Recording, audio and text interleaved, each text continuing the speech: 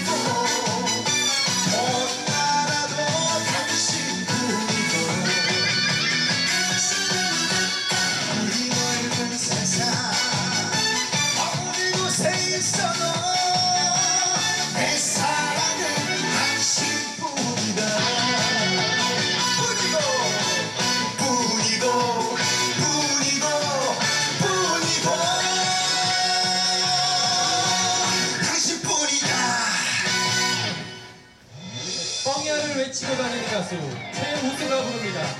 뻥이야.